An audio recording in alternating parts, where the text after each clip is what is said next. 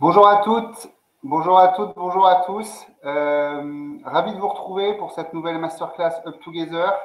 Euh, Est-ce que vous avez la gentillesse de nous dire si vous nous entendez, si vous nous voyez bien avec Ariane? Bonjour Ariane. Bonjour. Dans le chat, est-ce qu'on a des petits pouces qui se lèvent? Ouais, parfait. Bonjour Claire, salut Rachel, bonjour Quentin, Elisabeth, ravi de vous retrouver.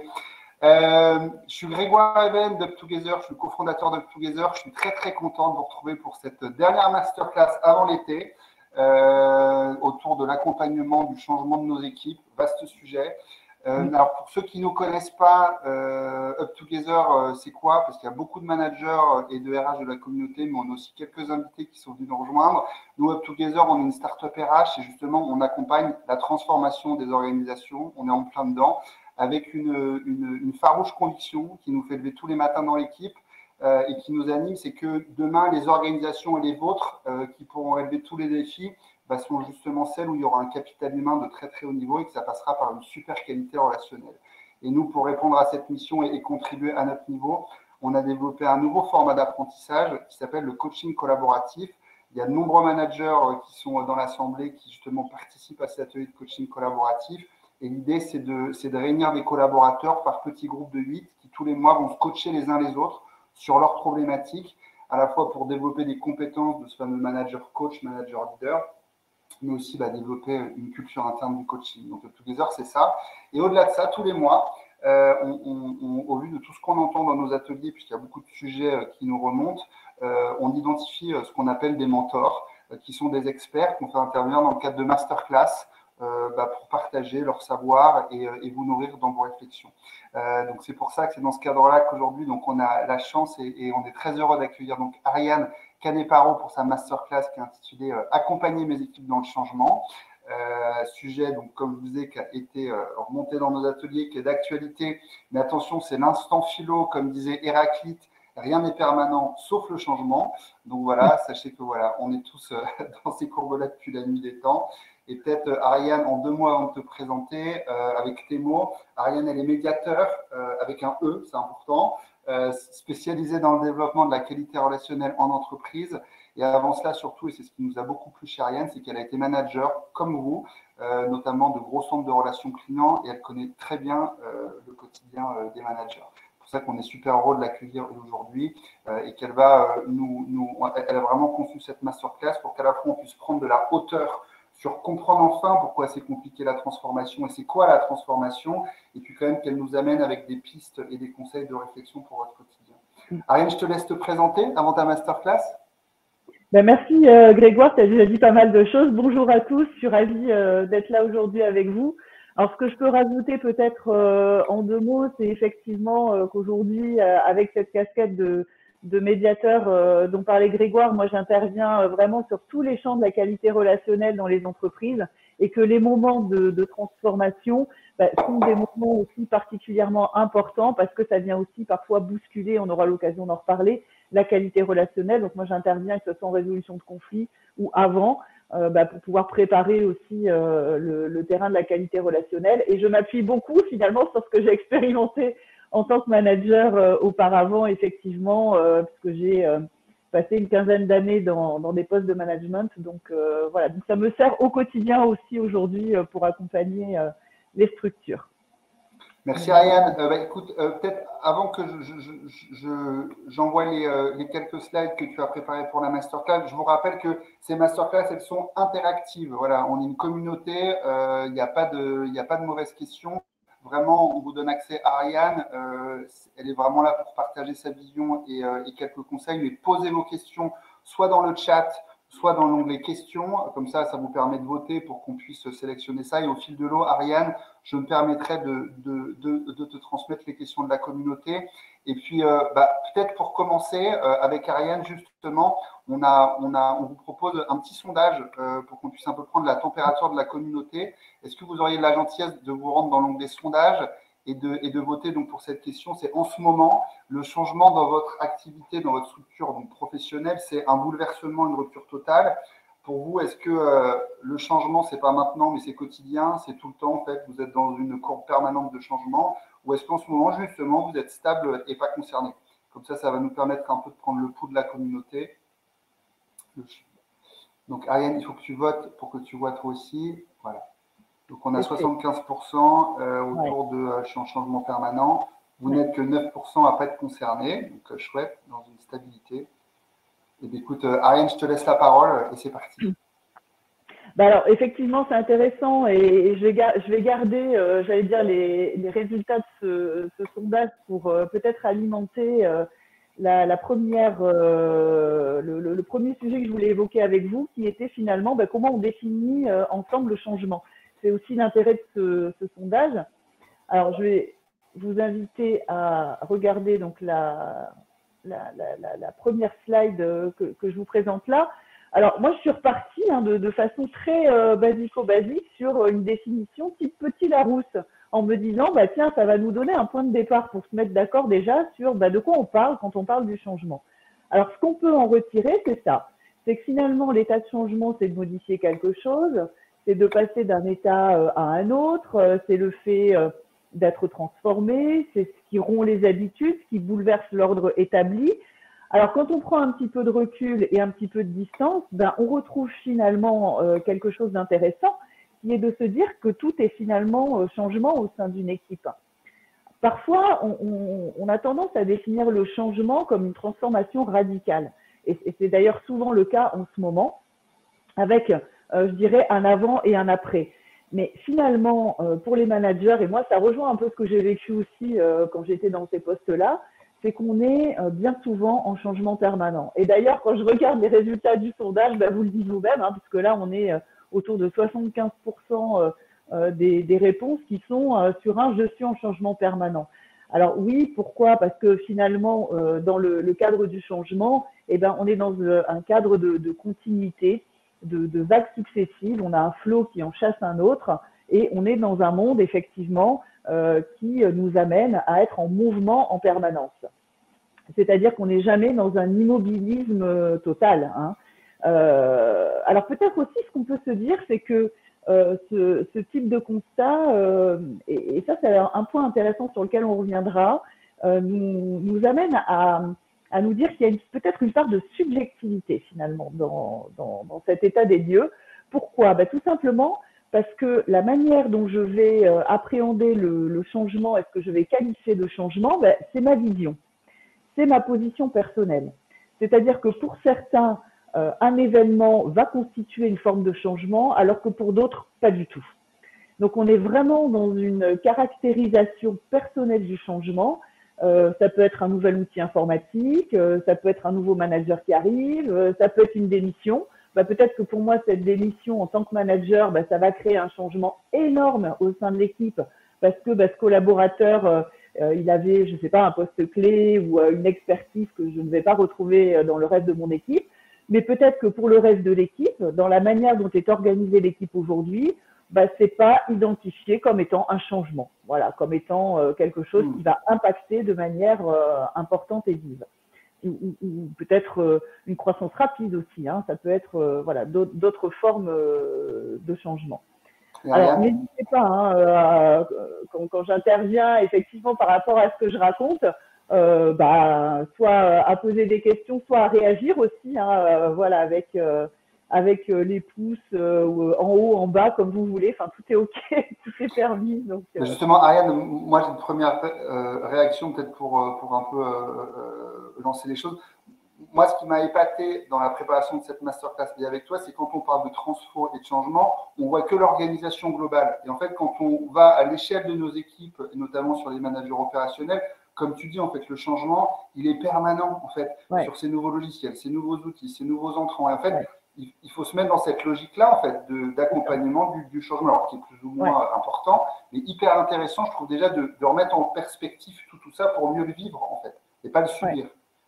Absolument. Et c'est vrai que c'est intéressant parce que, alors, ça me fait le lien, merci Grégoire, avec euh, le, la slide euh, d'après alors, c'est euh, peut-être quelque chose que vous connaissez pour certains d'entre vous. Aujourd'hui, c'est la manière dont on définit euh, le monde, j'allais dire, dans lequel on vit, hein, ce, monde avec ses lettres VUCA, donc volatile, euh, incertain, complexe et ambigu. Et c'est plus particulièrement aujourd'hui l'approche que l'on a quand on veut décrire le monde professionnel. Hein, et, c'est ce qui nous amène à dire que le changement est permanent. Alors, moi, euh, l'objectif euh, ce matin avec vous, ce n'est pas forcément euh, d'aller décrire le VUCA, mais c'est simplement peut-être de faire un focus sur un élément qui, moi, me semble intéressant, en tout cas quand on parle de management d'équipe, c'est le côté incertain. Et c'est peut-être là-dessus que j'aurais envie de, de, poser un regard et d'aller un petit peu plus loin avec vous. Pourquoi? Parce que finalement, j'ai envie de dire, ce qui pose problème parfois, c'est ce côté, cet angle incertain. C'est-à-dire que le, changement, finalement, on pourrait dire de façon assez simple euh, que quand on a une transformation dans une équipe, elle est prévue ou elle est imprévue. Le prévu, je vous donne un exemple très concret, ça va être par exemple un changement de, lieu de, travail. vous avez un déménagement, bon ben c'est prévu. C'est-à-dire que vous savez que dans euh, trois mois, six mois, un an, euh, vous allez intégrer euh, un, nouvel espace de travail. Et donc là, on est dans du changement, de l'accompagnement au changement, mais qui est prévu.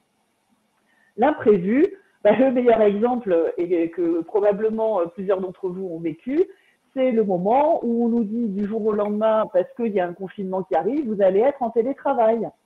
Alors certains avaient anticipé, mais là je pense que vous êtes d'accord avec moi pour dire que pas tout le monde. Et là, à un moment donné, ben, on se retrouve confronté effectivement à un changement qui devient complètement imprévu.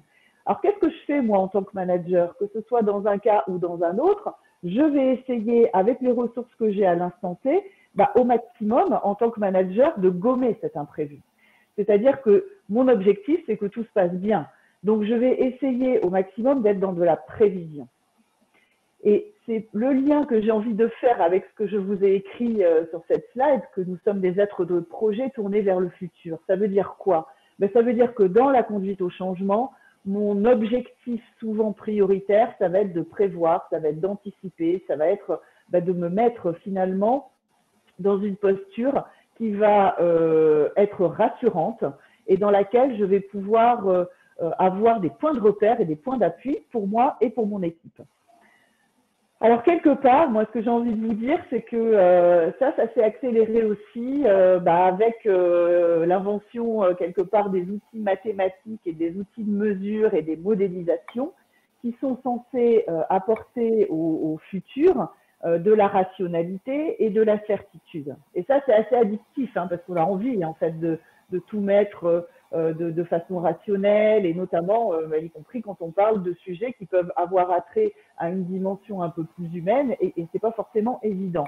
Sauf que euh, quelque part, et c'est peut-être la, deuxième fiction ou illusion que je voudrais vous soumettre ce matin hein, en termes de conviction, c'est que c'est illusoire de croire que l'on peut tout prévoir.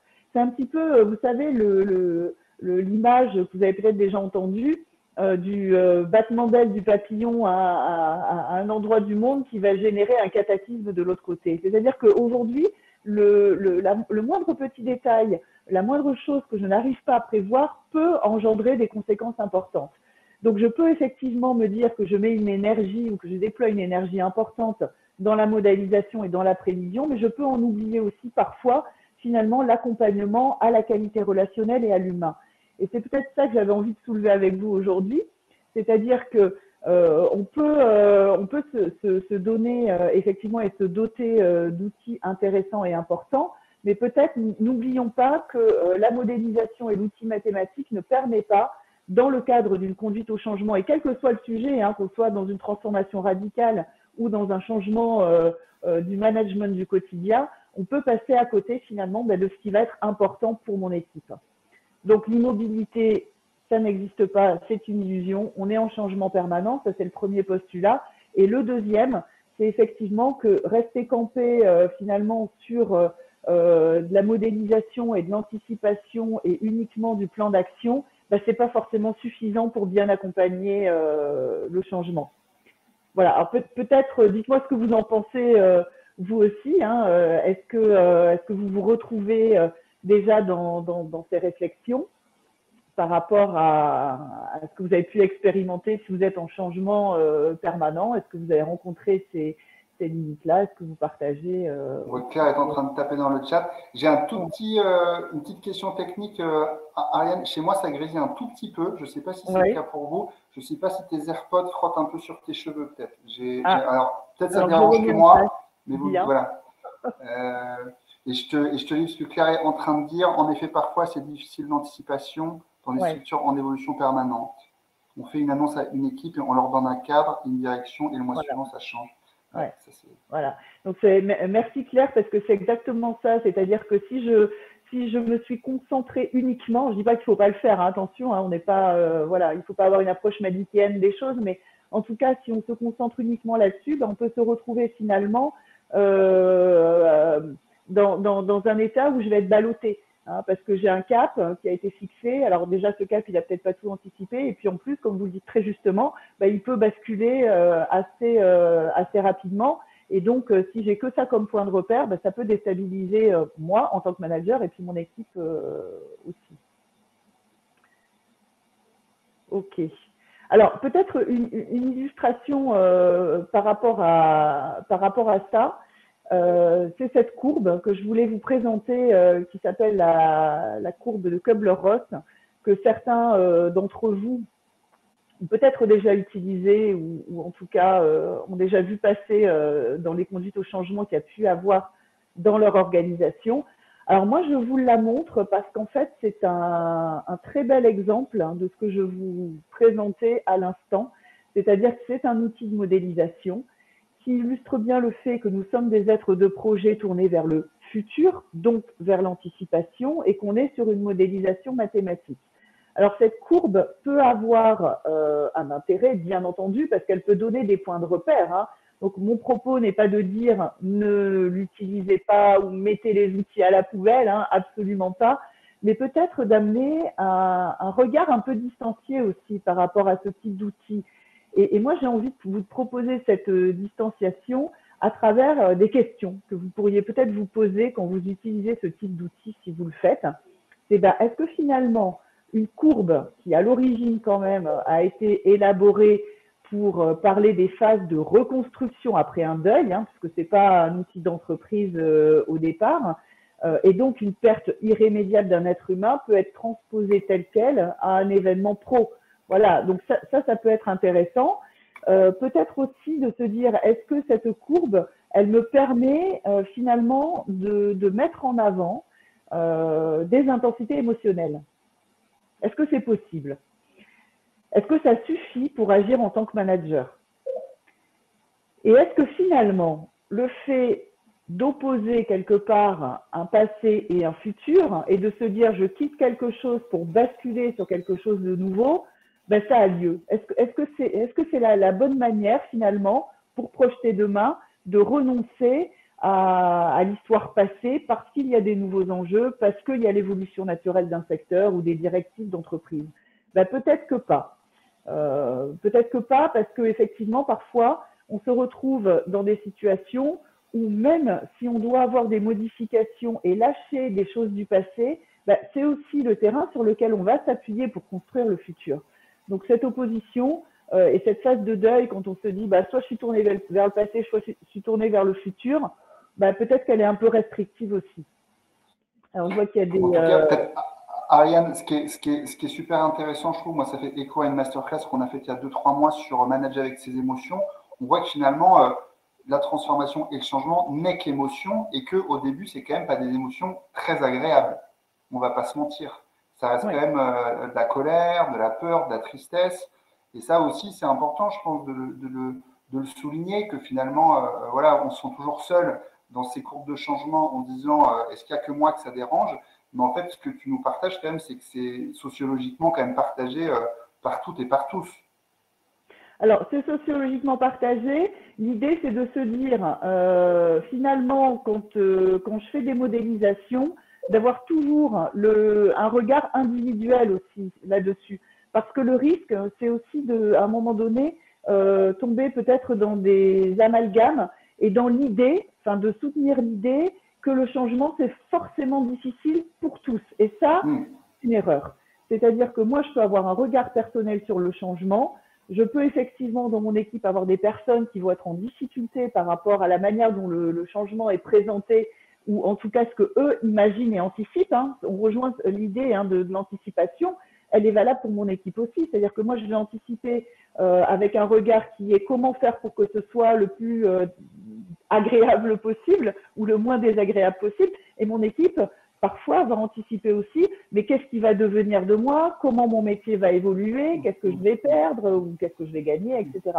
Voilà. Donc, euh, donc l'idée, c'est ça, c'est de se dire la courbe, ok, mais peut-être de ne pas rester campé ou enfermé finalement euh, dans ce type de d'outils.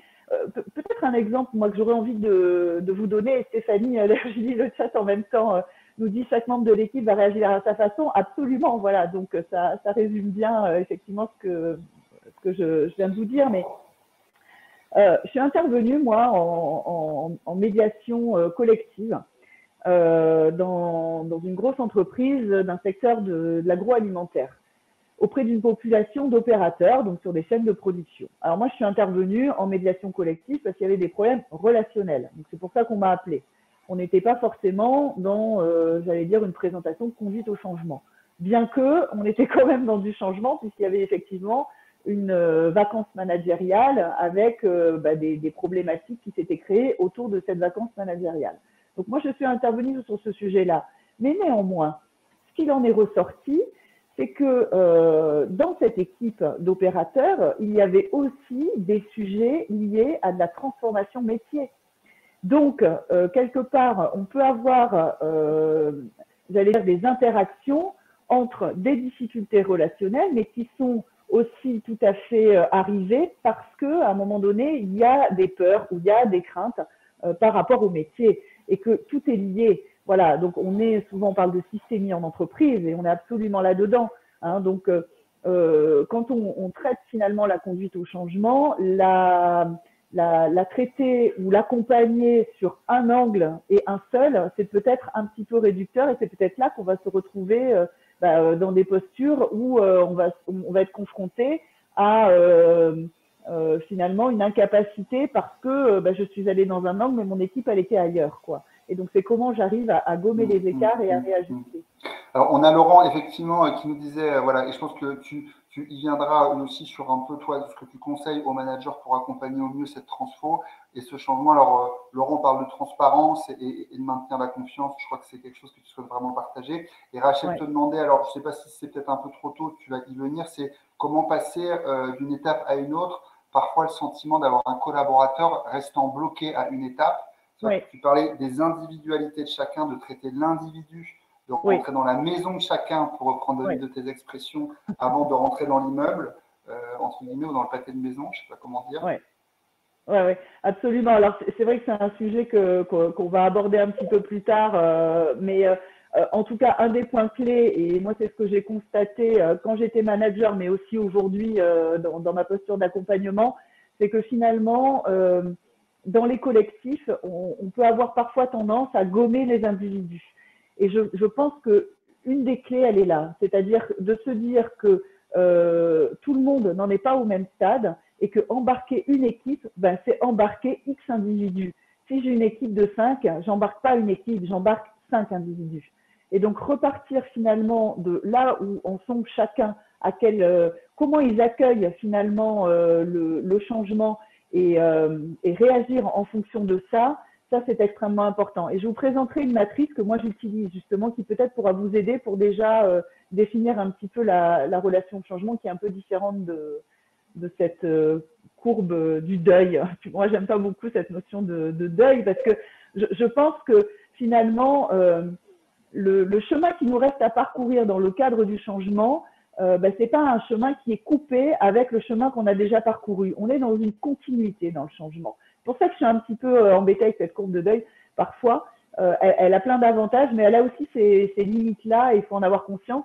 Parce qu'en fait, moi, je préfère vous montrer une image de chemin et de se dire, ben, il y a un chemin que j'ai parcouru et j'ai un chemin à parcourir. Et en fait, mon équipe, individu par individu, et moi aussi en tant que manager, parce que je suis dans l'équipe, eh ben, je viens avec une valise de compétences. Mmh. Et se dire cette valise, je l'emmène vers cette destination inconnue, c'est aussi déjà pouvoir rassurer son équipe. Et ça, c'est important. Je te propose qu'on continue, Ariane. Il y a pas mal de questions qui arrivent. On va les traiter, euh, Malika ouais. et Laurent, au fil de l'eau. Mais continuons, parce que justement, il y a pas mal après euh, d'outils et de conseils que Ariane va nous, va nous partager. Voilà, absolument. Donc, bon, si, si je n'ai pas tout dit, vous reposerez la question.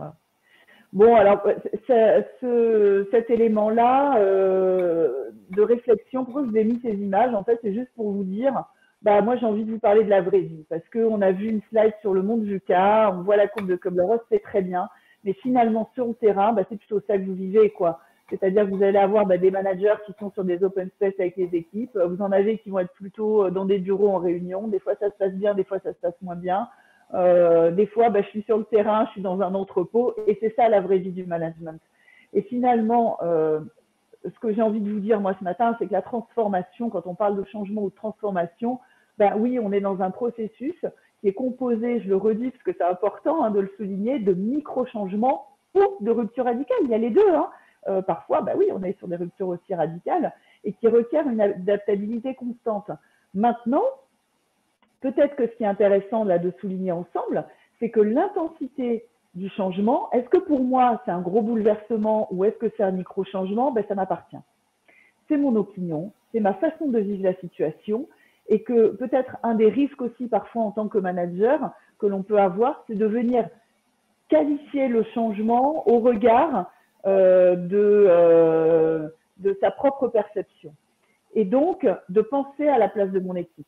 Donc ça, c'est peut-être un point euh, voilà, qui peut vous aider de vous dire, ben, quand finalement j'ai un changement qui arrive, ok, pour moi c'est énorme, c'est un gros bouleversement, mais peut-être que pour certains membres de mon équipe, ben, c'est complètement différent. Et déjà d'avoir ça en tête et de se dire la manière de qualifier un changement, elle appartient à chacun, euh, ça peut remettre euh, aussi un petit peu de, rationalité dans les propos et dans les échanges.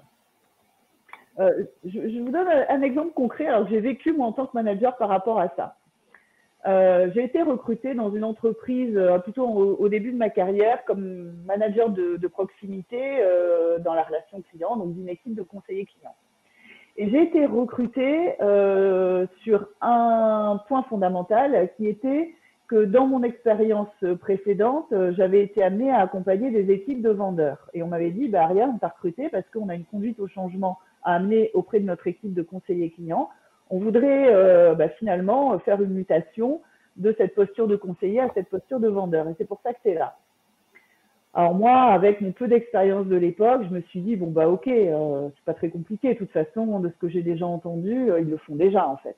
Donc c'est simplement une question de terminologie, mais euh, dans les faits, euh, ils font du, du, conseil en vente. Alors ok, ils s'appellent pas vendeurs, mais c'est déjà ce qu'ils font.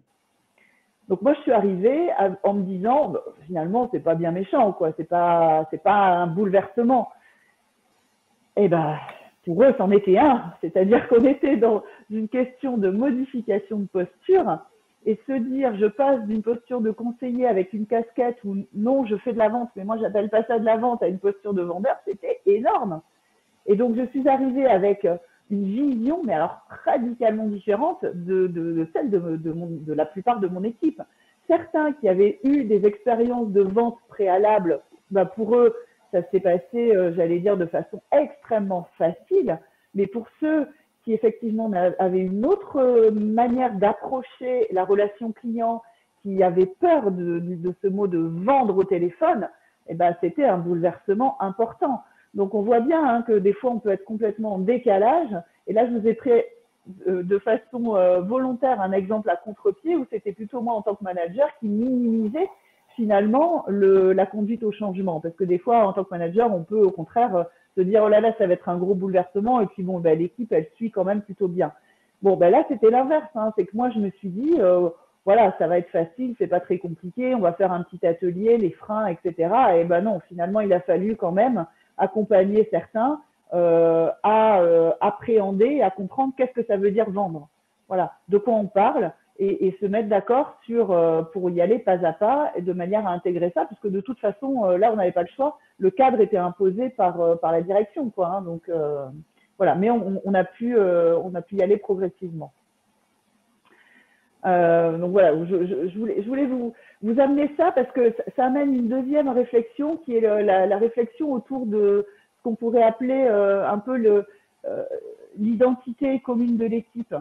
Quand, on est sur ce type de transformation, eh bien, ça vient bouleverser un peu l'identité aussi. Hein. C'est-à-dire qu'on parle du changement de façon pragmatique et opérationnelle. Donc là, si je reprends mon exemple de vente, bah ok, je vais les accompagner avec peut-être des outils d'aide à la vente, des argumentaires, on va euh, construire une table, euh, je ne sais pas, par exemple, de, réponse aux objections. Hein. Bon, bah ça, euh, voilà, moi je vais sécuriser ça en tant que manager, mais peut-être que ce que je vais oublier, c'est qu'à côté de ça, ça c'est la partie opérationnelle, c'est le faire. Mais à côté de ça, il y a l'être. Hein. il, y a, il y a comment j'accompagne aussi sur l'identité.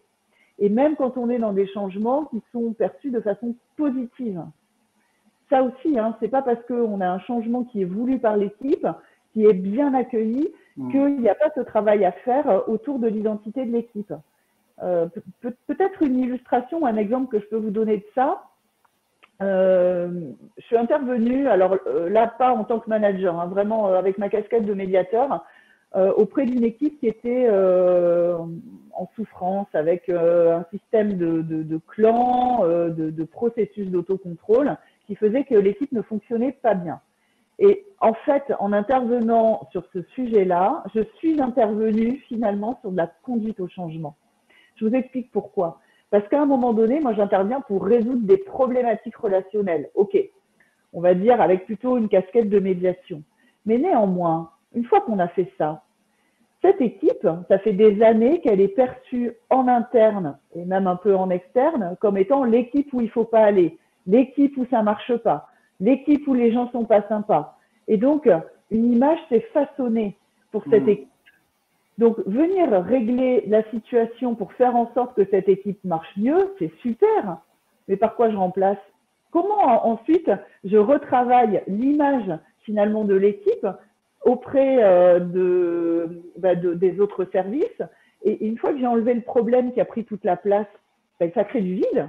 Donc, je remplace par quoi? Vous voyez, c'est ça qui est important aussi en tant que même un changement positif doit être accompagné, quoi. Et oui, c'est ça, c'est que même un changement positif doit être accompagné. Et ça, on l'a pas forcément toujours en tête euh, quand, on parle du changement. On voit souvent ah le changement, les problèmes, euh, voilà. Mais non, le changement des fois, ça peut être des changements positifs. L'arrivée d'un manager, ça peut être un changement positif. Bah, on l'attendait euh, avec impatience.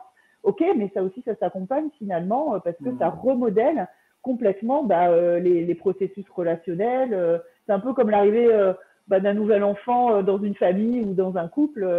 Hein, ça, voilà, pour ceux qui l'ont vécu, bah, ça, ça, bouge les lignes. Donc, donc ça s'accompagne aussi quelque part. Tu nous parlais d'une matrice, Ariane. Je ne sais pas si c'est ton slide suivant. Ouais, alors effectivement, la matrice dont je vous parlais, c'est pas la, la, slide suivante, mais la slide suivante, elle va, elle va être intéressante parce qu'elle va nous, nous amener à, à, à voir qu'on peut avoir différentes typologies finalement de, de changements, qu'on pourrait appeler des changements euh, structurels, opérationnels ou, ou, posturaux. Alors ça, je l'ai fait parce que ça permet euh, parfois de pouvoir euh, identifier de façon un petit peu plus simple, vous pouvez vous appuyer aussi là-dessus, pour identifier la nature du changement. Mmh. Alors, ce que j'ai appelé changement structurel, c'est ce qui va faire finalement mon entreprise ou, ou mon service donc derrière, qu'est-ce qu'on peut y mettre de façon très pragmatique? Une organisation, un cadre, des règles, des procédures, une stratégie, des mesures de performance, des contrats de travail. Et donc, je peux avoir des changements autour de toutes ces thématiques-là. Je peux avoir des changements opérationnels. Alors, ça va être quoi? Ben, Ça va être euh, des méthodes employées qui vont être modifiées. Ça peut être un lieu de travail qui change et qui va effectivement modeler euh, la, la façon d'interagir. Des modes de fonctionnement, euh, un, nouveau logiciel, des outils mis à disposition, des interfaces, etc. Et puis j'ai les changements posturaux. Alors les changements posturaux, c'est ceux qui vont faire l'entreprise hein, euh, ou le service. Ben, ça va être euh, les choix de modèles managériaux qui peuvent être aussi transformés hein, dans une organisation. Je peux passer d'un type de management à un autre, par exemple, d'un type de collaboration à une autre. Donc ça aussi, c'est des transformations importantes tout ce qui va concerner les rituels, les célébrations, les temps forts, l'ambiance, euh, euh, les circuits de communication, les attentes, etc. Donc voilà, ça c'est les trois, j'allais dire, grandes catégories de changements qu'on peut observer euh, dans une équipe, en ayant toujours en tête ben, que le fait de catégoriser a ses limites parce que ça peut être des points de repère pour moi, manager, pour construire et ne rien oublier. Mais vous voyez bien que finalement, tout ça, c'est en interaction permanente. Hein. Mm. c'est ce qu'on disait euh, juste avant, c'est-à-dire qu'un changement structurel, bah, peut-être qu'il va s'accompagner euh, d'un changement de posture et qui va avoir des mm. impacts là-dessus ou qui va entraîner un changement opérationnel. Donc, euh, l'idée, c'est bien évidemment bah, de toujours avoir cette dynamique globale en tête pour ne rien laisser s'installer et pour éviter effectivement bah, de se retrouver euh, dans des situations qui peuvent être Donc, je passe un peu plus rapidement là-dessus. Voilà, ça, c'est la matrice dont je voulais vous parler tout à l'heure parce qu'en fait, je la trouve assez intéressante dans euh, l'accompagnement au changement. Je l'utilise moi d'ailleurs hein, dans, dans, les organisations que j'accompagne. En fait, cartographier la relation que mon équipe a au changement, ça peut être intéressant. Mais avec une matrice qui, vous voyez, est très simple et très pragmatique, c'est-à-dire qu'un changement, au départ, bah, soit il est désiré ou souhaité, soit il est imposé. Bon, ça, c'est basico-basique. Et à côté de ça, bah, il est bien accueilli ou mal accueilli. Je peux avoir un changement imposé qui est très bien accueilli, hein, c'est-à-dire que c'est pas forcément quelque chose que j'ai souhaité ou que j'ai désiré, mais euh, bon an, mal an, bah, je trouve que ça peut être une idée intéressante de la part de mon manager, de ma direction, etc. Alors, sur euh, les impacts, bah, c'est ce que vous retrouvez effectivement de noter, c'est-à-dire qu'un changement, donc l'idéal, c'est le changement qui est désiré qui est bien accueilli. Parce que là, bah, j'ai un collaborateur qui est super motivé, je suis dans une bonne qualité relationnelle et on est dans un registre de confiance mais je peux aussi avoir un changement qui a été désiré par euh, un ou plusieurs de mes collaborateurs, et par moi d'ailleurs, euh, mais qui n'est pas très bien accueilli parce que euh, c'est pas comme ça que je l'avais imaginé. Ah ben c'est super, on change de locaux. Ah oui, non mais euh, attends, on est en train de nous dire qu'on va être au premier étage. Ah ouais, mais c'est pas pratique. Moi, j'avais pas du tout imaginé ça, etc. Donc le cadre du changement, il est, désiré, il est souhaité, mais voilà, la façon dont ça va être mis en œuvre, il peut y avoir des résistances qui se mettent en place, et donc de la contestation, de la polémique et un peu de défiance. Donc, c'est pas forcément grave, hein, mais euh, en tout cas, il peut y avoir ça qui émerge. Et puis, dans le cadre euh, imposé, ben, on va avoir effectivement, euh, c'est imposé mais bien accueilli, donc j'accepte. Je peux avoir quelques zones sur lesquelles je vais avoir besoin d'être rassurée parce que j'ai encore des soupçons, mais je suis plutôt sur un registre de tolérance. Et ce qui est le plus compliqué à embarquer, ben, vous avez bien compris, hein, c'est quand le sentiment de mon collaborateur, c'est qu'on m'impose des choses et qu'en plus j'en veux pas. Voilà. Mm. Et c'est ça qui va vous poser euh, problème. C'est-à-dire que c'est imposé et c'est pas bien accueilli. Et là, je vais me retrouver dans des situations d'affrontement, de résistance, parfois de conflit, pas toujours, hein, mais ça peut arriver. Mais en tout cas, euh, dans un registre de méfiance. Et c'est souvent là que vous allez avoir besoin, effectivement, bah, euh, de mettre de l'énergie quand j'ai des collaborateurs là-dessus. Donc, une idée de, de, mapping que vous pouvez faire, c'est ce qui est représenté sur, euh, sur la droite. Ça peut déjà vous donner une cartographie finalement de où est-ce qu'il va falloir que je mette mes efforts, où est-ce que je vais pouvoir avoir peut-être des ambassadeurs et où est-ce que, au contraire, bah, il va falloir que voilà, j'aille chercher ceux qui effectivement sont plutôt dans l'imposé et du euh, mal accueilli. Ariane, je me suis permis de partager une, une étude que j'ai euh, que j'ai euh, vue là récemment quand même pour aussi parce qu'on parle de ces changements et après effectivement on va arriver sur pour qu'aussi euh, on est là tous aujourd'hui, c'est que souvent ça peut être compliqué et c'est que pour aussi, euh, euh, c'est pas le but de rassurer, hein, mais c'est aussi pour expliquer aux managers que c'est compliqué les transformations. Et HBR, donc Harvard Business Review, qui voyait vraiment une, une vision internationale sur toutes les typologies d'entreprise, disait que trois transfos sur quatre, trois changements étaient ce qu'ils appelaient des fiascos. Donc c'est vrai que c'est compliqué euh, de, de, réussir la transfo, soit parce qu'effectivement, ils disaient les choix qui avaient été faits par le top management pouvaient ne pas être les bons, bon, ça c'est leur job, mais que aussi et surtout opérationnellement, elle était mal accompagnée. Et c'est là que nous, les managers de proximité ou les, voilà, les managers qui sommes les mains dans le cambouis, on a aussi euh, un rôle à jouer. Oui, absolument. Et, d'ailleurs, Grégoire, par rapport à ce que tu évoques là, euh, ça, me permet aussi de rajouter qu'aujourd'hui, euh, beaucoup de structures sont extrêmement bien accompagnés, et y compris d'ailleurs par des cabinets externes, hein, quand il y a des transformations importantes. Je ne parle pas du, des, changements du quotidien, où là, c'est plutôt le manager de proximité qui va être en, contact direct. Mais quand on est sur des grosses transformations, euh, bien souvent, bon, les, structures se font accompagner par des cabinets externes. Elles sont assez bien outillées sur tout ce qui va concerner euh, le champ de la AMOA, par exemple. Mais là où parfois il y a euh, des oublis, et, c'est là, moi je trouve que, le, point est intéressant, c'est que c'est pas forcément toujours accompagné sur le registre de comment j'embarque et j'implique et comment je prends soin de la qualité relationnelle.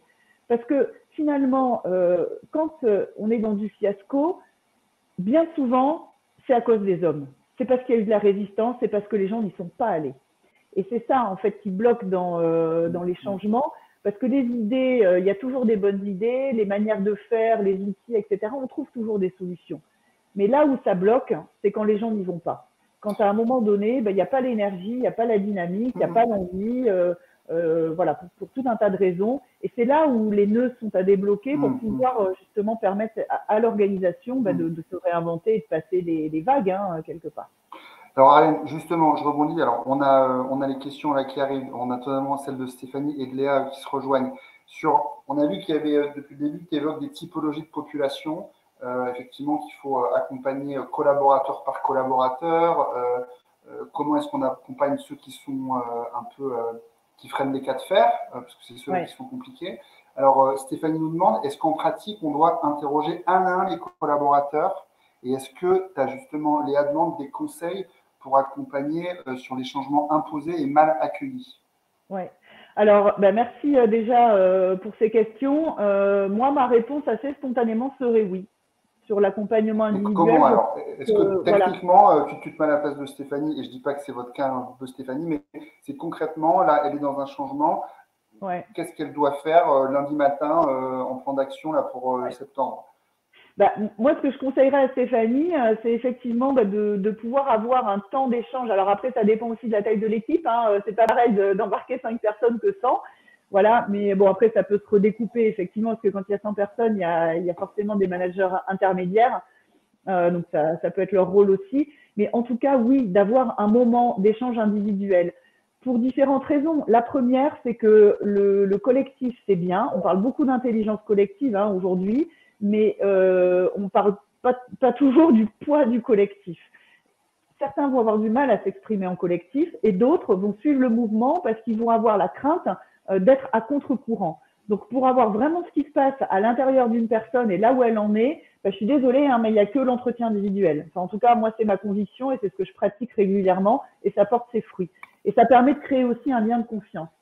Euh, Peut-être que euh, d'ouvrir avec euh, une question, enfin de façon très pragmatique, une question très ouverte, c'est OK, euh, il y a ce changement qui a été annoncé, qu'est-ce que tu en attends? Ça va vous permettre déjà d'avoir les résistances. Ah non, mais ça a été imposé, moi j'en attends rien. De toute façon, j'ai pas le choix. Euh, moi j'en attends énormément parce que justement, je voudrais que ça m'apporte ça, ça, ça, ça, ça. Et, le fait de poser le, contexte sur les attentes, qu'est-ce que tu attends de ce changement? Qu'est-ce que tu attends de cette nouvelle orga? Qu'est-ce que tu attends de ce déménagement? Qu'est-ce que tu attends de cette nouvel outil? Ça va vous permettre d'aller tout de suite sur le registre émotionnel. Hmm. Et c'est ça, en fait, qu'il faut arriver à toucher et à atteindre. C'est comment quelle est la perception de la personne à un instant T et où elle se situe dans son registre émotionnel pour pouvoir voir où sont ses peurs, où sont ses craintes, où sont ses résistances qui peuvent être fondées ou qui peuvent être euh, des croyances.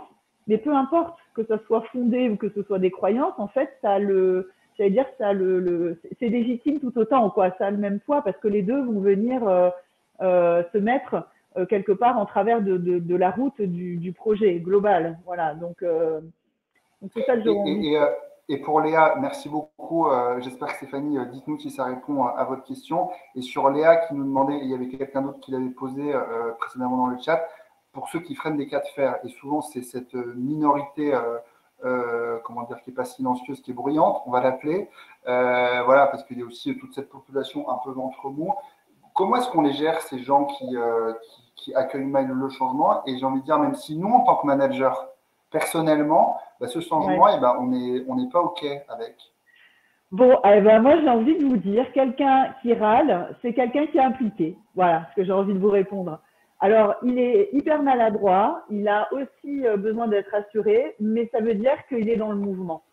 Et moi, j'ai envie de dire, bah, les gens qui sont comme ça, il faut quelque part honorer ces résistances. Parce que ça veut dire qu'ils sont impliqués, qu'ils ont envie de faire. Alors, ils ont envie de faire à leur manière. Des fois, ils vont, euh, ils vont être euh, euh, désagréables. Des fois, vous allez avoir le sentiment que effectivement, ben, c'est compliqué à gérer. C'est vrai. Hein enfin, voilà, moi, ça m'est arrivé aussi. Donc, donc c'est pas toujours facile. Des fois, c'est. mais néanmoins, quelqu'un qui vient dire ah mais je comprends pas pourquoi, ah mais ça c'est c'est pénible, mais pourquoi on va dans cette direction, etc. Ben, finalement, ça veut dire qu'il a envie à sa manière de pouvoir s'impliquer dans le dispositif, contrairement à quelqu'un qui effectivement euh, n'interagit absolument pas. Et, euh, Alors après, bah, comment les impliquer? On peut, avoir une méthodologie qui est un petit peu similaire à celle que, que je viens d'évoquer sur euh, l'entretien individuel, hein, encore plus même. Hein, C'est-à-dire que là, il faut bien arriver à comprendre quel est le postulat finalement de la personne, qu'est-ce qui fait qu'à un moment donné, elle est en résistance, qu'est-ce qui l'inquiète, qu'est-ce qui lui est désagréable? Peut-être aussi parfois, moi ça m'est arrivé, euh, notamment je pense à, un sujet managériel sur lequel j'étais, on peut avoir des, collaborateurs qui sont dans des visions opposées à la nôtre en tant que manager. C'est-à-dire que vous voulez donner une vision, vous, vous voulez embarquer avec peut-être une organisation, et puis vous allez en avoir qui ne sont pas du tout en phase avec vous. Alors ça, j'ai envie de dire, euh, il faut clarifier tout de suite. Hein. C'est-à-dire qu'il y a euh, le cadre, et puis il y a ce qui est négociable. Le mm. cadre, c'est ce qui n'est pas négociable. Mais ça, mm. faut être clair. En disant, euh, OK, la transformation, dans cette transformation-là, il y a des éléments sur lesquels on va pouvoir agir, sur lesquels on va pouvoir faire du collaboratif et d'autres pas. Et tant qu'il y a de l'ambiguïté là-dessus, ben, ça va continuer à alimenter effectivement euh, les sujets de résistance. Je résiste parce que je pense qu'à un moment donné, je peux faire bouger les choses. Si on me dit clairement non, là-dessus, on ne bougera pas les choses. Hmm. Donc ça, ça fait partie du postulat de départ. Ben, ça enlève un sujet. C'est plus un sujet. Par contre, sur peut-être d'autres sujets, on peut amener effectivement une réflexion avec des négociations. Et là, euh, bah, euh, c'est de la discussion, quoi. Hein. c'est du dialogue hein, avec, avec ces éléments. Je ne sais pas si ça répond bien euh, à, la, à, la, question. Dites-moi. Est-ce que, Léa, ça vous, euh, est-ce que Léa, ça vous éclaire, ça vous donne des billes euh, un peu? Et après, pendant que Léa peut-être nous répond, moi, rien, ce que je me dis, c'est que là, on traite un changement qui est mal, qui est imposé, qui est mal accueilli. Mais j'ai envie de dire, est-ce que, et je crois que tu viens aussi sur ça, sur la fin de, tes slides, c'est comment est-ce que on, on prépare ce changement avec le collectif? Comment on le fait participer? Euh, ce qui est une des clés aussi, j'imagine, d'une transfo réussie. Alors, je vais avancer peut-être un petit peu parce qu'il y aura des éléments de réponse qui vont arriver. Et puis, je compléterai, euh, voilà. Et puis, en plus, midi va, donc euh, allons-y, avançons. Alors, ça, c'est plus un élément finalement de, de synthèse hein, par rapport à ce qu'on vient de se dire. Hein, donc, je, je, vais passer un peu plus rapidement là-dessus. Hein, on, disait euh, de, façon euh, systémique que chaque changement, il peut impliquer finalement l'ensemble de ces axes, c'est-à-dire l'axe du savoir. Donc, je peux avoir des changements qui vont être en lien avec une modification des connaissances, des, compétences, des expertises, avec la manière de, faire donc les actions et avec l'être. Donc, tout ce qui va concerner en fait les, relations. Et moi, mon point euh, finalement là de, message clé que j'ai envie de vous faire passer ce matin, c'est de vous dire euh, n'oubliez aucun des axes. Voilà, n'oubliez aucun des axes parce que c'est très important et, et, euh, que les résistances, souvent, elles sont dans l'axe euh, être, mais qu'elles peuvent prendre leur source au niveau de, du faire et du savoir. Mais si je ne réponds qu'au faire et au savoir, je ne réponds pas forcément à l'être. Alors, sur les illusions et les fictions euh, qu'on peut se rappeler ensemble, euh, des phases d'immobilité, donc on est bien dans de la fiction, ça on en a parlé tout à l'heure, la prédiction mathématique aussi, c'est-à-dire que euh, ça ce sont des, illusions. Et, les deux autres que j'ai envie de vous partager ce matin, c'est de vous dire que croire qu'on est dans une vision commune et partagée par tous et qu'on a toujours des échanges parfaitement rationnels, même quand on prépare bien sa communication, euh, eh bien ce n'est pas le cas, ce n'est pas vrai.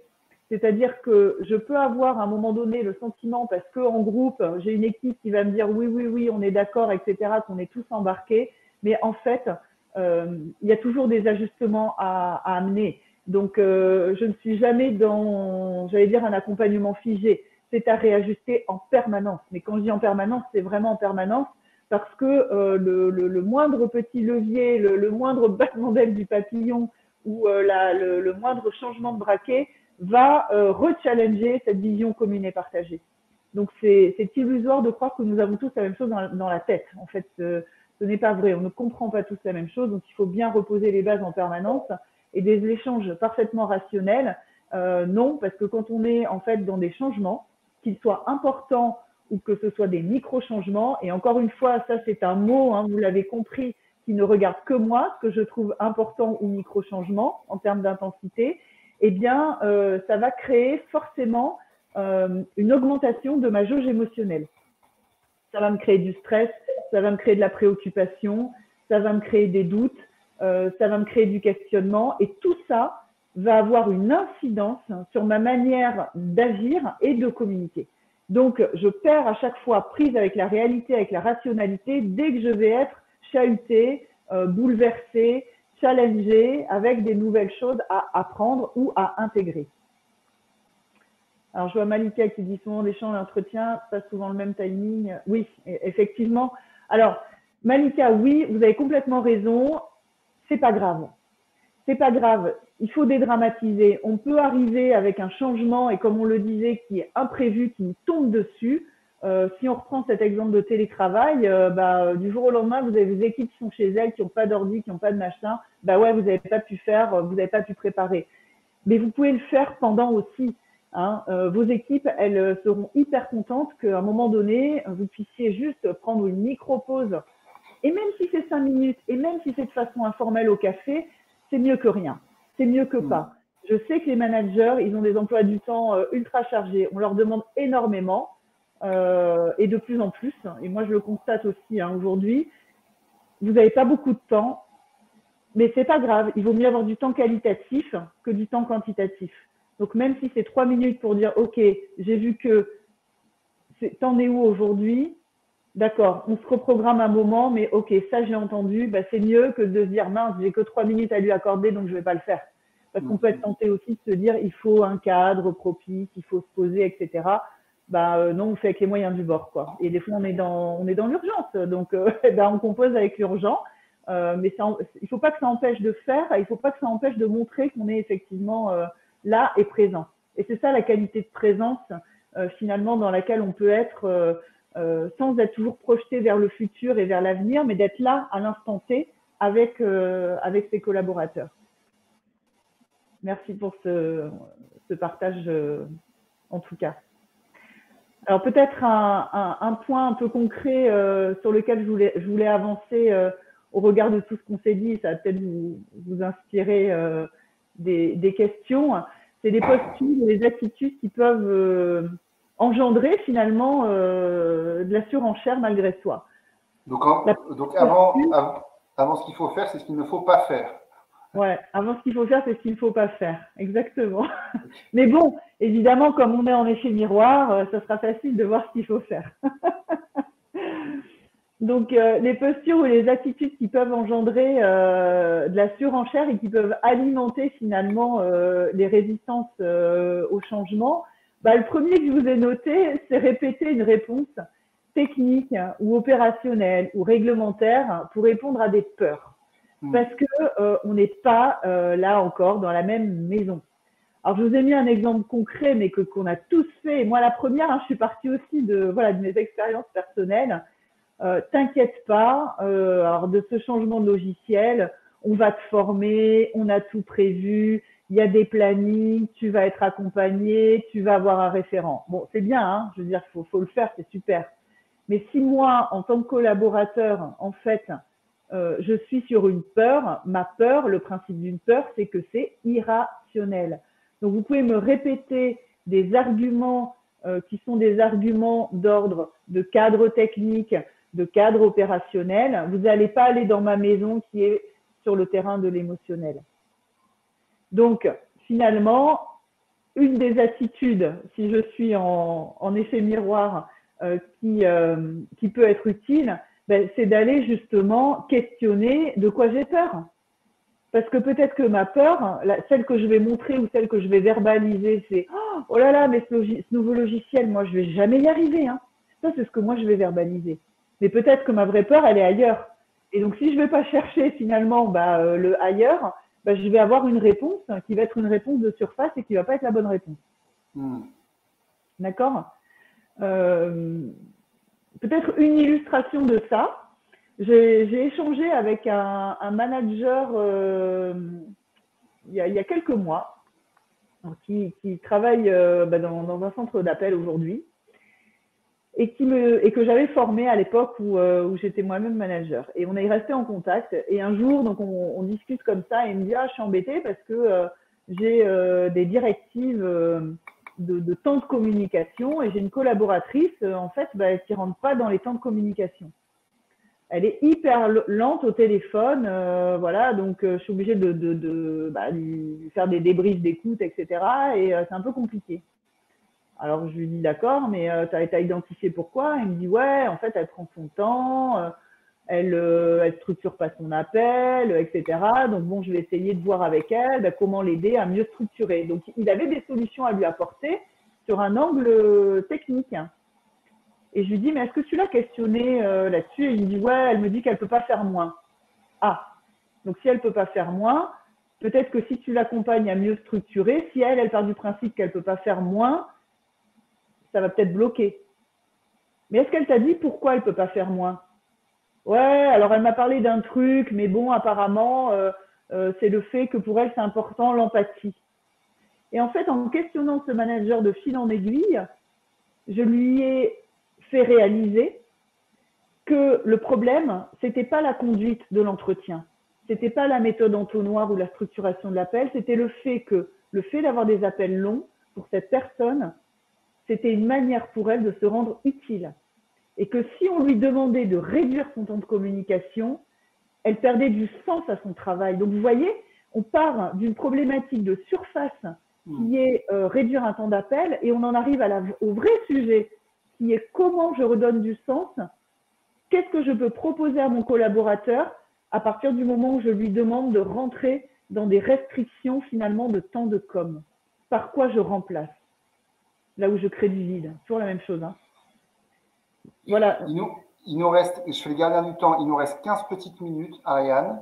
Euh, voilà, posez bien vos questions, on va les prendre euh, en fin de masterclass. Donc, ce que je te propose, Ariane, c'est que euh, encore peut-être 5-10 petites minutes pour que tu puisses finir de nous partager tes conseils. Et après, on finira sur les questions si c'est OK pour toi. Ouais, ouais, ce sera bon.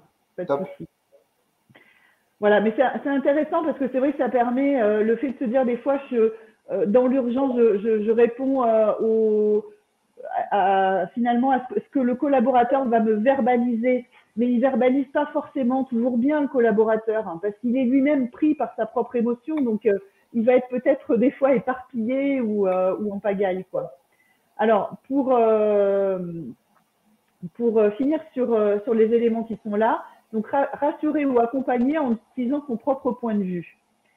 Alors le risque, c'est effectivement bah, de minimiser, de banaliser, de dédramatiser quelque chose. Et là, on est toujours dans le registre émotionnel qui peut sembler important finalement à, l'équipe ou aux collaborateurs, ou, faire la morale, ou mettre la pression. Et là, je mmh. vais toujours bah, finalement centrer sur moi. Moi, je compte sur toi, mais tu vas voir, ça va bien se passer. Alors, j'ai des bonnes intentions quand je fais ça en tant que manager, évidemment. J'ai envie de rassurer parce qu'on me dit, bah, c'est mon rôle. Hein, mon rôle de manager de proximité, c'est effectivement bah, de, venir faire en sorte que tout se passe bien. C'est toujours comme ça. Et, peut-être des fois de mettre, euh, sans le vouloir, hein, des chapes de plomb. Donc il vaut mieux faire émerger, bah, à la limite, euh, bah non, c'est une catastrophe. C'est pas grave qu'un collaborateur dise que c'est une catastrophe si pour lui c'est une catastrophe. Mais peut-être que là où on peut l'accompagner, c'est à préciser. Hmm. Bon, ok, c'est une catastrophe que euh, Pierre ait démissionné. Ah non, mais c'est une catastrophe, tu te rends compte, il va falloir qu'on récupère ces dossiers, euh, on est déjà sous l'eau, euh, mais, mais on va jamais y arriver. ok, donc quand tu dis c'est une catastrophe, voilà, qu'est-ce que tu as imaginé comme impact que, Comment toi tu penses que tu vas le vivre? Et, vraiment, là aussi, faire l'état des lieux pour pouvoir, s'il y a des solutions à apporter ou des endroits de réassurance, bah, les faire sur des éléments concrets et factuels. Parce que sinon, on va rester dans une injonction à ne pas paniquer. Hmm. Hein, et, alors, il y a un exemple que je, donne parfois euh, en formation, qui est décorrélé du monde du travail, vous allez très bien comprendre. Euh, c'est un exemple que, j'ai vécu. Euh, j'ai ma, petite fille qui, à qui j'achète une sucette et qui, en fait, au bout d'une minute, on se balade dans le centre commercial, elle laisse tomber par terre et elle s'éclate en morceaux. Bah, le premier réflexe que j'ai envie de lui dire, c'est quoi? C'est pas grave. Bah non, parce qu'une sucette qui est tombée par terre, c'est pas grave. Pour moi. Et c'est là où je dis attention à son propre point de vue, parce que pour elle, c'est dramatique. Voilà. Et donc, si je commence par lui dire, allez, c'est pas grave, au pire, je t'en rachèterai une, ou euh, écoute, c'est qu'une sucette, ben, en fait, je suis en train de minimiser ce qu'elle est en train de vivre et son émotion. Et ça, dans les, périodes de crise, de transformation profonde ou de changement, en tout cas qui sont impactants pour mon collaborateur, et eh ben, euh, finalement, c'est nier son, la légitimité de son point de vue. Voilà. Donc, légitimer le point de vue de chacun, j'anticipe un peu sur la slide d'après parce que je sais que le, temps est compté, donc je vous donne les deux en même temps, ben, c'est un élément important. Alors, sur les deux autres éléments, interpréter un questionnement comme une remise en, question de changement, ben là, j'ai envie, moi, juste de, vous faire réfléchir, vous, manager qui êtes là ce matin, sur euh, quelles sont vos propres peurs aussi quand vous avez un collaborateur qui vous dit Mais attends, je comprends pas là pourquoi tu as, choisi euh, de partir là-dessus. Et pourquoi, à un moment donné, parce qu'il y a une question, je vais le prendre mal, je vais le prendre personnellement, je vais le prendre comme une remise en question. Voilà. Donc, ça, c'est peut-être une interrogation à avoir et de se dire bah, un questionnement, c'est aussi une, manière de manifester de l'intérêt. Donc, comment j'accueille euh, ce, questionnement? Et chercher à imposer un modèle, bah, évidemment, oui, ou de réflexion, ou d'action, ou de ressenti, bah, ça veut dire faites comme moi, quoi. Hein. Hmm. Alors, un grand merci à Elisabeth qui pose une question euh, que j'avais sur le bout de la langue. Euh, est-ce qu'on parle souvent des équipes et des collaborateurs, mais nous, nous, nous les managers, parce que nous aussi, on est fait de chair et d'os. Euh, quand un changement dans l'équipe entraîne des changements aussi pour le manager, comment réussir à ne pas mettre ses propres peurs et derrière dans des échanges avec ses collaborateurs. Et, là, c'est quand même aussi un très très gros sujet. Oui. Alors, sur ce sujet-là, euh, comme ça, un peu spontanément, moi, ce que j'aurais envie de vous dire, c'est que ça va dépendre, la, manière d'agir va dépendre euh, du niveau de confiance qu'il y a au sein de l'équipe avec votre hiérarchie et de la culture d'entreprise. Si vous êtes dans un environnement qui est plutôt un environnement euh, euh, bienveillant, agréable, etc., vous pouvez tout à fait partager en tant que manager parce que oui, vous êtes fait de chair et d'os euh, bah, vos inquiétudes. Vous pouvez partager votre ressenti, de dire, bah, voilà, factuellement, il y a ce changement. Ça va entraîner une réorganisation de mes missions, puisque ce qu'on me demande aujourd'hui, c'est plus la même chose que ce qu'on me demande demain. Et euh, bah, ça me crée un questionnement sur euh, bah, ce que je vais pouvoir vous apporter ou ma légitimité auprès de vous, équipe. Et j'avais envie de vous le partager. On a le droit. c'est pas dangereux, ça, Ariane. Ça, c'est pas dangereux pour des équipes dans une phase de changement qui peut-être ont besoin de, de, piliers, de stabilité, euh, de dire que voilà que le leader de leur équipe est lui-même en questionnement? Alors, je pense, je, non, je ne pense pas. Je vais vous dire pourquoi. Parce que, en fait, le retour, moi, que souvent euh, les équipes me font, c'est euh, arrêter de nous infantiliser. On mm. n'est pas là pour qu'on nous protège.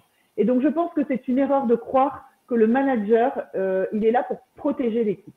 Voilà, moi, je n'y crois pas. Alors, bon, vous pouvez ne pas partager. C'est ton, non, mais c'est super. C'est ton avis et tu es là pour ça. Voilà. Donc, mon avis, c'est ça. C'est-à-dire que les collaborateurs, ils ont besoin de se sentir utile et contributif. Et pour mm. ça, ça veut dire qu'il n'y a pas le manager et l'équipe, il y a une équipe dans laquelle il y a un manager. Mm. Et donc que le manager, à un moment donné, fasse part de ses interrogations euh, et de son ressenti, bah, c'est tout à fait légitime aussi.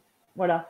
Euh, c'est pas forcément poser son opinion ou son jugement sur le changement, c'est mm. parler de lui. C'est pas venir dire ah ce changement c'est n'importe quoi, oh là là je sais pas comment on va y arriver, mais c'est plus de venir dire bon voilà il y a un changement. Ce changement, factuellement, il implique ça et ça. Ben moi, aujourd'hui, euh, voilà, ça, ça, me crée aussi du flou. J'ai pas tous les éléments en main. Ça va avoir des incidences. Euh, voilà. Donc, euh, et, de dire, et vous, qu'est-ce que vous en pensez, quoi? Voilà, comment ensemble on peut arriver à trouver, ben, si ça implique peut-être un changement d'animation d'équipe, qu'est-ce que vous attendez de, de ce changement d'animation d'équipe? Comment, euh, comment vous, vous voyez mon nouveau positionnement par rapport à vous dans la mesure où le périmètre va changer? Mmh. Ça se construit ensemble. Mais euh, c'est vrai que le, fait d'infantiliser, euh, quand je dis infantiliser, je sais que c'est un mot qui est fort, mais c'est des mots qu'utilisent les collaborateurs aujourd'hui. Hein. Moi, quand je les rencontre, de dire il faut arrêter de nous protéger, il faut arrêter de, de, de nous faire croire qu'on n'est pas capable de comprendre. On est capable de comprendre. Mmh. Donc, donnez-nous un rôle à jouer. Quoi. Et le rôle à jouer, il peut être aussi à l'inverse. C'est pas le manager sachant, descendant, c'est le manager qui co-construit, mais co-construire, ça veut dire que l'équipe a aussi un rôle à jouer vis-à-vis du manager pour aussi l'impliquer, pour aussi l'embarquer et le soutenir. Et c'est dans les deux sens, de mon point de vue. Voilà. Merci. Alors, quelques convictions clés, on a commencé à les, partager ensemble. Hein, euh, donc, je vais, euh, je vais essayer d'aller à l'essentiel là-dessus euh, par rapport au temps qui nous est imparti. donc limiter les espaces de doute et les croyances. Alors ça, on, l'a déjà un petit peu évoqué. Donc c'est avoir une communication sans biais. Donc ça veut dire partir concrètement sur des faits, la base de faits. Un fait, moi je vous rappelle, c'est quelque chose qui est observable. Hein. Donc si on veut rationaliser, si on veut poser le cadre, si on veut expliquer un processus, eh bien on parle de faits. Et un fait, peut-être que ce que vous pouvez retenir aussi ce matin, c'est qu'il est neutre. Et la neutralité, vous devez la challenger en vous disant, est-ce que dans ce que je vais amener comme fait, on peut me dire qu'on est pour ou contre Est-ce qu'on peut avoir une opinion dessus? S'il y a une opinion qui est posée, c'est que ce n'est pas un fait. Voilà. Donc ça, c'est un élément important de communication. Créer un socle de confiance, ça avait été mis dans le chat, euh, je, je, ne sais plus par quelle personne, mais qui l'avait dit en tout début de masterclass. Oui, absolument. Et le fait de faire confiance à son équipe et de partager avec elle avec sincérité, eh ben, ça permet de créer un socle de confiance. On est des êtres humains et reconnaître les limites et les ignorances de chacun, y compris celles de mon manager, bah, c'est important pour créer ce socle de confiance au sein de l'équipe et avec mon manager. Voilà, donc euh, je, je, vous livre un micro-exemple là-dessus. Je suis intervenue dans une organisation pour un différent entre un manager de proximité et son responsable euh, de service. Qu'est-ce qui s'était passé? Le manager de proximité avait été mis en porte-à-faux parce que dans le cadre d'une conduite au changement, on avait demandé à ce manager de mettre en place des ateliers collaboratifs, euh, agilité, intelligence collective, etc., pour réfléchir à construire demain. Le manager de proximité, évidemment, l'a fait. Sauf que l'équipe s'est rendue compte, parce que vous savez que tout se fait dans une entreprise, qu'en fait, les décisions, les axes avaient déjà été validés en CODIR. Donc ne prenez pas les gens pour des imbéciles, moi c'est ça que j'ai envie de vous dire. Soit vous avez imposé un cadre, et ben vous l'assumez et vous l'imposez clairement, et c'est pas grave, mais vous le dites, ça, je suis désolée, euh, mes chers collaborateurs, vous n'aurez pas voix au chapitre mais c'est clair. Mais ne faites pas travailler pour rien, pour faire style.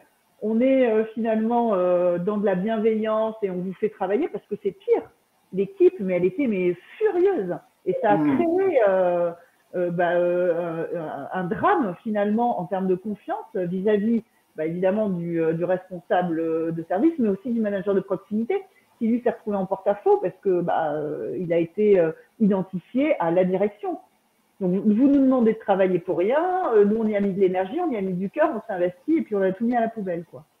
Voilà, donc c'est pour ça que j'ai le socle de confiance. Il faut vraiment le, le, créer, le créer autour de ça. Procéder avec méthode, donc ça rejoint vraiment distinguer, si je devais résumer en une phrase, euh, le chemin du résultat. Des fois, je vais être orienté chemin, des fois, je vais être orienté résultat. Orienté résultat, bah, peut-être qu'à certains moments, je vais être dans quelque chose de très directif. Bon, bah ok. Et puis parfois, je vais être orienté chemin. Donc, je vais être orienté sur du collaboratif, sur comment embarquer, sur comment euh, voilà, créer une dynamique. Honorer les individualités et les résistances, on en a pas mal parlé. Donc, euh, c'est accepter les divergences de point de vue, euh, savoir vivre le désaccord, euh, euh, voilà, et, et, se dire que oui, parfois, ben, à un moment donné, c'est pas parce que j'ai donné mon point de vue ou mon opinion en tant que collaborateur que je vais avoir gain de cause. Parfois, l'équipe mmh. confond les deux et ça, faut être très au clair aussi là-dessus. Le collaboratif et le participatif, ce n'est pas décider de tout, même dans les organisations libérées et responsabilisantes. Il y en a peut-être parmi vous, et euh, voilà. Et ce, ce, n'est pas ça. Hein. Ce n'est pas parce qu'on est sur des organisations euh, plates ou en holacratie ou ce que vous voulez que euh, tout le monde euh, décide de tout de façon unie, enfin j'allais dire oui, unilatérale finalement ouais. dans, dans le collectif. Comment est-ce que Ariane, suite à ce changement qu'on a opéré, donc on a vu comment on, on, pouvait un peu le préparer en amont, ce socle de confiance, gérer les résistances, accompagner cette majorité silencieuse. Comment est-ce qu'après on ancre les nouvelles pratiques suite à changement dans le, dans le, dans le temps pour s'assurer que guillemets, la, le changement prenne Alors, pour, le, pour que le changement prenne, euh, il faut que ça soit suivi dans la durée. C'est-à-dire qu'on ne peut pas être dans du one-shot on peut pas se dire c'est bon, ils ont compris, euh, c'est bon, euh, il y a eu des axes qui ont été définis, allez hop, maintenant il n'y a qu'à les suivre. Euh, parce que euh, qui dit changement dit souvent, hein, c'est ce qu'on voit depuis ce matin, et même dans des changements qui sont de type très opérationnel, ça nécessite quand même toujours derrière un changement de, posture. Et la posture, en fait, bah, à partir du moment où je suis dans un cadre de référence, ça veut dire sortir de ce cadre et passer à un autre. Donc ça s'accompagne sur la durée. Euh, moi, je vois par exemple des écueils qui ont pu être rencontrés euh, régulièrement dans des structures, et, y compris celles euh, dans lesquelles j'ai été salarié, c'est de dire par exemple, on va poser un cadre de valeur qui va définir finalement une nouvelle manière de travailler ensemble. Alors, on va travailler le cadre de valeur, on l'affiche et on pense que c'est OK. Ben, en fait, non. Et après, on s'étonne qu'effectivement, le cadre de valeur ne soit pas respecté et tout le monde s'insurge. Mais non, parce qu'il faut le faire vivre. Alors, ça, le mmh. manager de proximité, effectivement, là, il a un rôle clé à jouer sur le faire vivre au quotidien.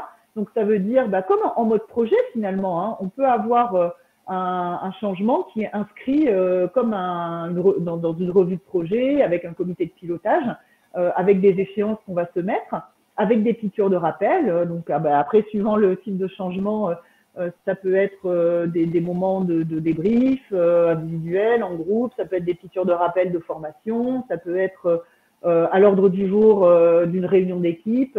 Mais en tout cas, de façon très factuelle, il faut réaborder le sujet en, en, permanence pour pouvoir aussi le faire vivre. Parce que moi, j'aime bien utiliser aussi quand même la méthodologie un peu test and learn quand on est sur des changements c'est-à-dire qu'on met, en, met en pratique, on met en place et on a du feedback et on en tire des enseignements pour réajuster ensemble. Voilà. Mmh, mmh. Hyper intéressant. Je te laisse conclure euh, Ariane. Il nous reste une minute euh, au temps. Si vous avez une dernière question, je vous invite vraiment à la mettre dans le chat. Ariane est là pour ça. On pourra déborder d'une minute si vous le souhaitez. Et je te laisse conclure, euh, Ariane. Oui, alors moi, ce que j'avais envie de vous dire, ça, je ne vais pas le commenter, mais un changement il se construit pleinement et durablement dans la coopération euh, d'équipe plus que dans la, la collaboration. Bon, on, on, pourrait en parler pendant des heures, peut-être juste en un mot, la différence que je fais entre coopérer et collaborer.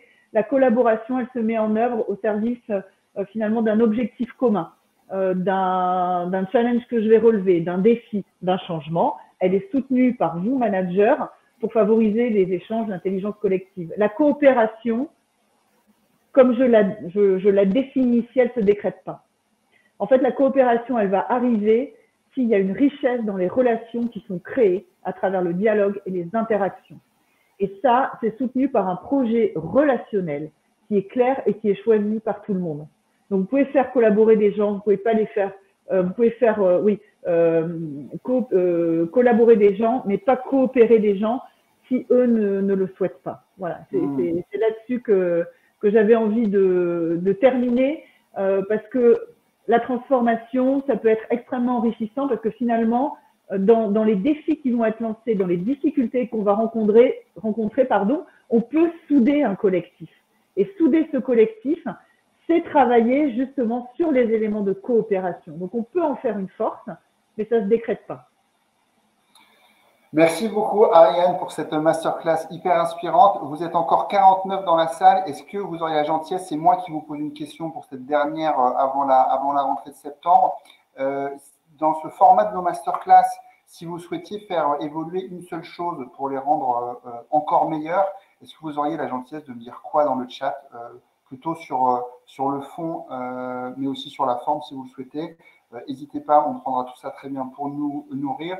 Et peut-être pendant ce que vous écrivez ce petit conseil pour l'équipe Up Together euh, pour améliorer nos masterclass, est-ce que Ariane, là je me mets dans la peau des personnes qui nous ont écoutés pendant cette masterclass, si euh, dès demain ils veulent mieux accompagner le changement, si tu devais leur donner un seul et unique conseil, par, par, où commencer s'ils sont un peu perdus?